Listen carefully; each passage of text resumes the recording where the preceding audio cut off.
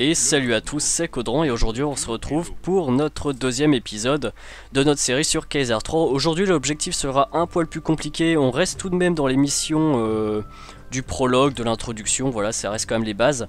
Donc on va encore une fois commencer par enlever tous ces arbres. Notre objectif c'est 650 de population.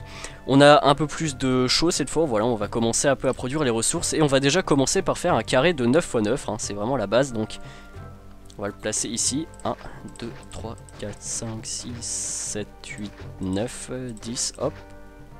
Hop, 1, 2, 3, 4, 5, 6, 7, 8, 9 et 10. Voilà. Ça devrait le faire. Parfait, voilà. On va placer les préfectures déjà aux abords. Oups là, je me suis un peu planté ici. Aux abords. Euh, études d'ingénieur également pour éviter que les bâtiments s'effondrent. On va placer ensuite un marché ici, vous allez voir. Le marché permettra de desservir les différentes habitations. En nourriture, en poterie, etc. En gros, ça dessert les différents biens. Et après, on va devoir euh, s'occuper un petit peu de nos citoyens. Je vais déjà placer les temples. Donc Cérès, on a du Neptune. Mercure, on va le mettre juste ici. Et euh, Mars, Mars, Mars, Mars, on va le mettre là. Et Vénus, la déesse de l'amour, on va la mettre ici. Voilà, parfait. On va déjà pouvoir, je pense, commencer à placer les habitations. Donc toujours en largeur de 2. Voilà. On va placer le puits dans les angles du carré centraux, central. Pardon, centraux. Euh, on va ensuite accès à des fermes, voilà, donc je vais commencer un peu à vous expliquer le système de nourriture. On se souvient que dans Pharaon, pour ceux qui avaient regardé ma série, c'était essentiellement basé sur le système de crues décrues avec le Nil. Il fallait également jongler un petit peu avec le dieu Osiris, euh, le dieu des crues. Ça pouvait être assez compliqué des fois. Là, c'est pas aussi compliqué que ça, tout du moins je l'ai pas trouvé compliqué pour le moment. Il suffit de placer des champs de blé, donc hop, les fleurs jaunes comme ça signifient que c'est une terre fertile et qu'on peut donc placer des champs.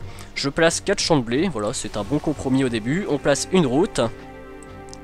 Hop, j'allais oublier le petit bitonio juste ici pour mettre juste la préfecture et l'étude d'ingénieur. Et on place ensuite un grenier pour stocker la nourriture. Et voilà, c'est fini. On n'a plus à y toucher, normalement ça roule. Euh, ça roule parfaitement, c'est nickel. C'est vraiment tout l'avantage de Kaiser 3. La préfecture et l'étude d'ingénieur desservent du coup tout le secteur ici. Et après, au pire, dès qu'on commence à avoir un peu plus de population, on peut rajouter des champs de blé juste en face. Ça permet de multiplier par deux la production, donc c'est assez sympa euh, comme technique, je trouve. Et voilà, et par exemple, si le grenier est rempli, hop, un deuxième petit grenier et ça roule. Voilà, donc c'est vraiment parfait. Alors, je vais regarder un peu. J'ai pas accès à autre chose pour le moment, c'est pas grave. C'est pas grave, c'est pas grave. On va regarder un peu l'emploi, donc il y a zéro de taux de chômage, c'est normal. Ok, c'est bien. Ok, parfait. Il y a quand même du monde dans l'agriculture, donc ça c'est parfait. Des fois, euh, la population se dirige vers euh, des trucs qui servent pas grand chose, du, enfin, pas grand chose. Un peu moins euh, prioritaire du style les temples, et il faut régler ça dans, le menu des priorités, mais là ça va, en l'occurrence c'est plutôt bon. On voit donc que les habitations évoluent, on est arrivé à une grande hutte, et il va leur falloir bientôt une fontaine. On est déjà presque à 200 de population, donc ça avance plutôt rapidement, c'est pas mal, pas mal du tout.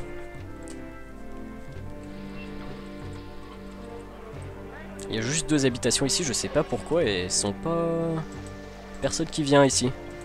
Je sais pas pourquoi. Voilà, et on voit, regardez, le grenier se remplit quand même euh, assez vite. Il se vide assez vite aussi, mais il se remplit quand même assez vite. Le maximum, il me semble, c'est 2400 de blé, mais j'ai peur de dire une bêtise. Non, c'est ça, voilà, 2400 de blé. Donc euh, voilà, il y a quand même une bonne petite marge, mais ça peut se remplir assez vite, notamment dans la mission, dans la prochaine mission, vous verrez, ça se remplira plutôt vite. Donc on va peut-être améliorer un petit peu la vitesse.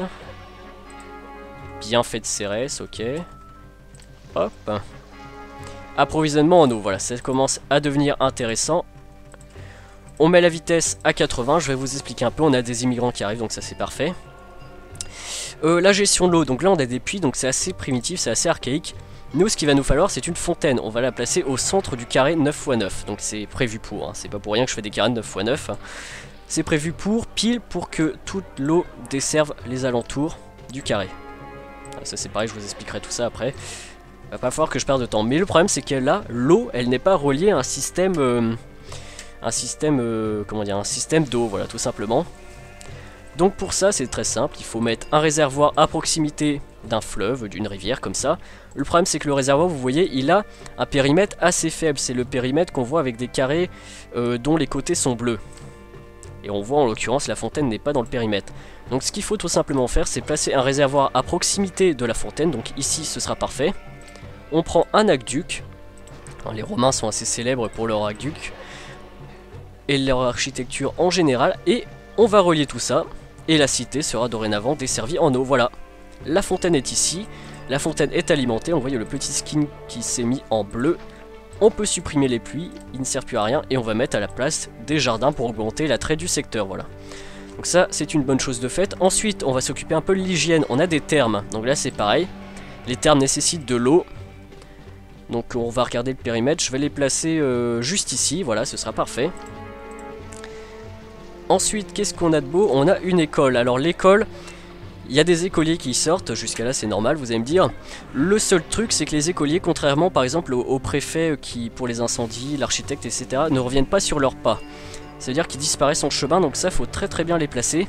C'est pour ça, souvent, je vous conseille de les placer davantage vers des angles, notamment ici. Vous allez voir, ça devrait se dispatcher d'un côté ici, d'un côté ici. Donc ça pourrait être pas mal. Euh, école de théâtre. L'école de théâtre, on va la mettre hors de la cité. Enfin, hors du centre-ville plutôt. Voilà, on voit les élèves, voilà, ils font pile le tour, donc c'est parfait. Hors du centre-ville. Et le théâtre, euh, l'idéal, ça aurait été de le mettre à un angle euh, du style euh, Neptune, là. Donc je vais peut-être virer Neptune. On va virer Neptune. Hop.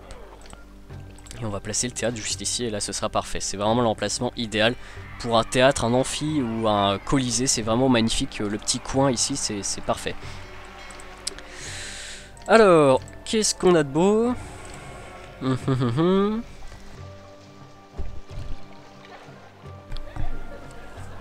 euh, École... Ok, bon, bah, c'est bon, on n'a plus qu'à attendre. Vous voyez que la cité commence déjà à prendre forme, ça commence vraiment à... C'est vraiment ça qui me plaît dans le City Builder, c'est on commence de rien, notre petite cité grandit petit à petit, on commence à avoir des maisons qui sont pas mal du tout, beaucoup plus romaines, beaucoup plus... Beaucoup plus sympa, des petites maisons, voilà, donc c'est parfait.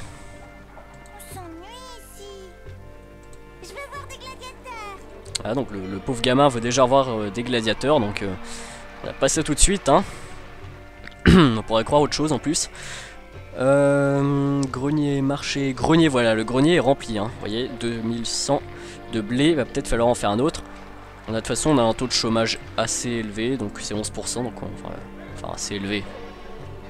Ouais, non, rien, non, non. donc on va faire un deuxième grenier, j'allais commencer à parler, mais c'est non, ça allait dériver en fait. Alors, on va détruire la route ici. Et euh, bah, tout ça me semble bien bon. Jardin, je vous ai montré, école, terme, ok bah parfait, on n'a plus qu'à accélérer un petit peu le temps. Et c'est parti.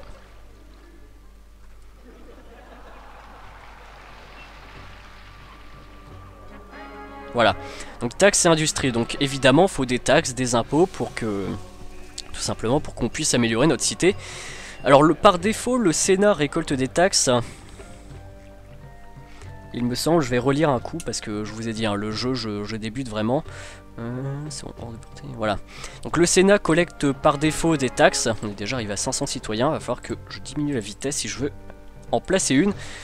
Le Sénat collecte par défaut les taxes, mais les taxes euh, des habitations euh, avoisinantes, c'est-à-dire juste le petit secteur ici, ça suffit.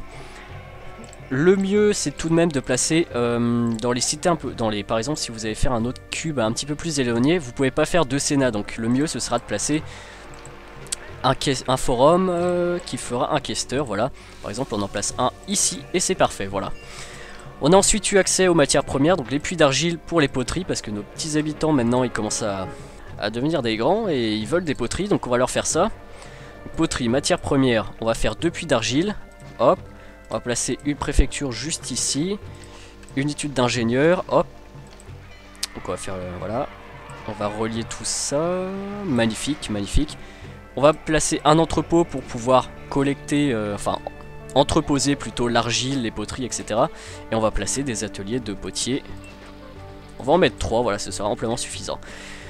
Donc euh, l'argile est amenée, est amenée dans les ateliers qui produisent des poteries. Les poteries sont amenées dans l'entrepôt. Le marché va chercher dans l'entrepôt les différentes poteries et les distribue au sein de la communauté. Voilà. C'est le principe habituel d'un city builder Made in Sierra. Voilà. Il n'y a pas plus compliqué que ça. Et voilà, donc on a notre petite cité. Voilà, c'est une petite cité très très sympa. Un petit village. Euh. Eh bien écoutez, on n'a plus qu'à mettre en accéléré. Normalement, on devrait voir les maisons qui devraient évoluer. Ah, le commerce. Donc vous voyez que mes greniers sont remplis, donc ça va être le moment peut-être, j'ai des excédents de blé, donc ça va être le moment de commercer. Cette cité là par exemple c'est Capua, euh, Capua pardon, donc elle a... Elle peut m'acheter du blé, peut m'acheter de la poterie, poterie j'en ai besoin, blé par contre j'ai des excédents. Donc je vais ouvrir une route commerciale, on va dans le petit menu du commerce, on met le blé et je vais mettre euh, exporter à partir de 2, voilà. Là on voit 10 habitants et on a gagné la mission. Et voilà, c'est la victoire. On a encore été promu cette fois ingénieur. Bon, et bah écoutez, on continue. Vous apprenez vite. Vous possédez à présent les compétences requises pour accomplir une véritable mission. À partir de maintenant, vous pourrez choisir l'orientation de votre carrière. Choisissez la province la plus calme pour vous concentrer sur la gestion. Ou la plus dangereuse pour affronter les ennemis de Rome. La plus dangereuse. Donc euh, oui, personnellement, je pense que pour cette série, je vais choisir euh, les régions calmes. Et peut-être qu'après, je ferai les régions, euh, les régions tout du moins. Les régions militaires où il y aura quelques conflits armés, voilà. Donc en tout cas, j'espère que cette petite vidéo vous a plu, que le concept de la série vous plaît, etc. etc moi je vous dis à la semaine prochaine ou je ne sais pas quand euh, dès que sera posté l'épisode 3. En tout cas portez-vous bien jusque là. Salut à tous, c'était Caudran.